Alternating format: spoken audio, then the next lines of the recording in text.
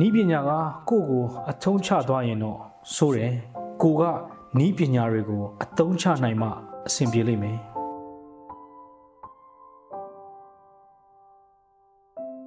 ကိုကိုကိုနဲ့တခြားသူတွေကိုကယ်တင်နိုင်ဖို့တတိရှိရှိနေထိုင်ခြင်းကအရေးကြီးဆုံးဘဝရဲ့စီးမြင်တစ်ခုပဲ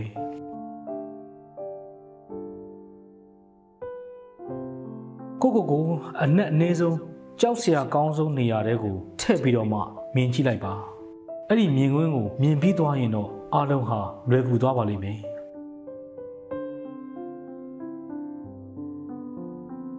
ကို့မှာရှိတဲ့အရာတွေကိုချစ်လိုက်တဲ့အခါကို့မှာလိုအပ်တာတွေအားလုံးရှိသွားပြီ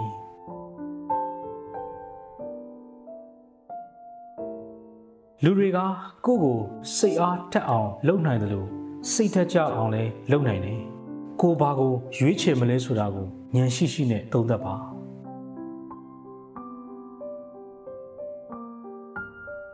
နိုင်ရှင်ချင်းကကိုယ့်ရဲ့ကိုယ်ဤကိုယ်သွေးကိုဖျက်ဆီးနိုင်တယ်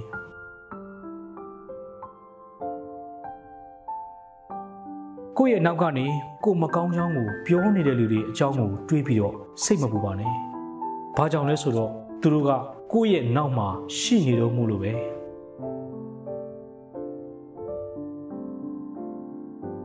အခွင့်အရေးတွေဟာသူ့ဘာသာသူဖြစ်လာတာမဟုတ်ဘူးကိုယ်တိုင်ဖန်တီးယူရမှာ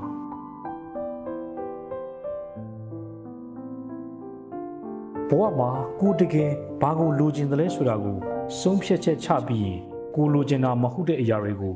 no လို့ပြောပါ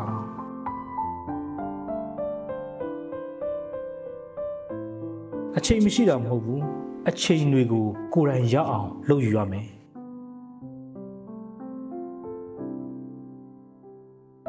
ဝကိုရည်ရွယ်ချက်ရှိရှိနဲ့နေထိုင်ပါ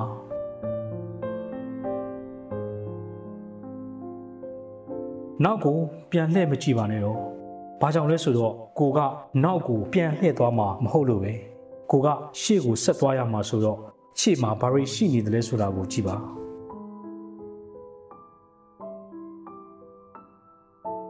ကိုဘလောက်ထိအောင်တင်းကြီးခံနိုင်တယ်လဲဆိုတာကိုသတိထားပါ။ဘာကြောင့်လဲဆိုတော့ ကိုကိုဘလို့ဆက်ဆံရမလဲဆိုတာကိုသင်ပေးနေတယ်လို့ဖြစ်နေလို့ပဲပြောချင်တာကသီးခံပြီဆိုလို့ရှိရင်လူတွေကကိုကိုဆက်ဆံတဲ့ပုံစံကပြောင်းသွားတယ်သူတို့အနိုင်ကျင့်လို့ရမယ်ထင်ရင်အနိုင်ကျင့်ကြလိမ့်မယ်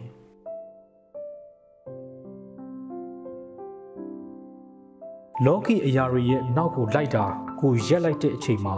မှန်ကန်တဲ့အရာတွေကကိုယ့်ရဲ့နောက်ကိုလိုက်လာလိမ့်မယ်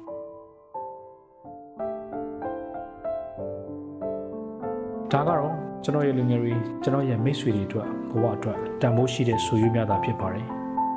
ကျွန်တော်ရဲ့လူငယ်တွေနဲ့မိတ်ဆွေတွေဟာလည်းနေ့တစ်နေ့ကိုပျော်ပျော်ရွှင်ရွှင်နဲ့ဖြတ်သန်းရင်အောင်မြင်ပျော်ရွှင်တဲ့ဘဝတွေကိုရကြပါစေလို့ကျွန်တော်ဆုတောင်းပေးပါတယ်ကျွန်တော်ကတော့ကိုညာလင်းအောင်ပါ